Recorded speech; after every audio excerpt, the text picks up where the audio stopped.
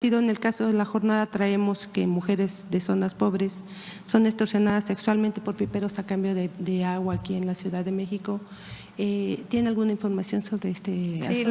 lo leí en la mañana, no, no tenía información sobre ello, pues que se investigue.